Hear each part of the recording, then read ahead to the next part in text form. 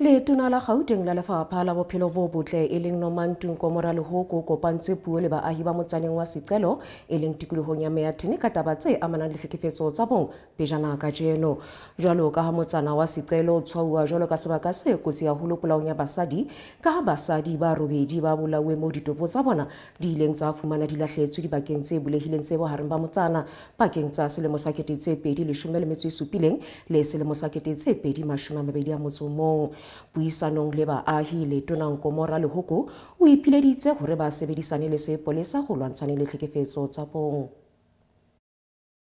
ungqongqoshe wezempilo nenhlalakahle golo nomantu nkomora lihoku usenxuse izinhlaka zikahulumeni kanye nomphakathi ukuba kusebenzisana ukuze kuliwe nesihlava sodlame lobulili nokubulawa kwabantu besifazane. Okankomora lihoku bekhuluma kumcimbi wezinsuku eziyishumi nesithupha zokuqwashisa ngodlame lobulili nokubulawa kwabantu besifazane obubanjelwe endaweni yasesicelo emeyathini. Wonke umuntu must be part of this. That's why sibiza bonke abafana abancane obaba otata osisi sihlangane sonke siyilwe lento lena because if singasebenzisana sonke singama-departments kunye nomphakathi sizokhona ukuyinqoba le ndaba ebuhlungu kakhulu ye-gender based violence in our communities.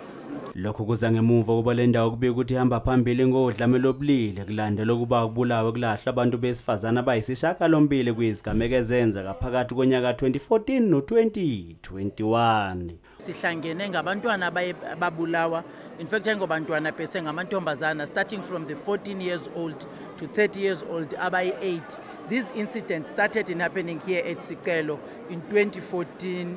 then it moved to 2017 2019 and 2021 so it has been a constant attack to the women as victims of these pest perpetrators in the area so sadecide ke ngokuthi nje siyi-department ye-health because here at kopanong sine-tutuzela center that we work with the department of justice and we work with the police including our own forensic because it, they were involved in picking up the bodies ebesizimane sizifumana in the field. Ungqongqoshe uthi nakuba zithe ukwehla izibalo zalezi zigameko kule ndawo phakathi konyaka 2022 no-2023 kodwa imicimbi eqwashisayo ngalesi sihlava kubalulekile ukuba ihlale ihlale iba khona ukuze umphakathi uhlale unolwazi. Ezindabeni zesoweto tv ngingujabulani nsele ngisemeyathini